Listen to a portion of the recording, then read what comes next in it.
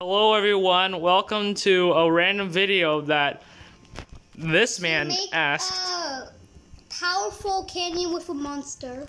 So what we're going to be showcasing you is how to launch yourself with this guy, the Whomp King. What you what you gotta do first is you gotta make sure you get on his back. Let us first demonstrate you how to do this. Now once he is about to grumble up, you must run onto it while his on thing. Yeah, whatever. And now you're on his crown.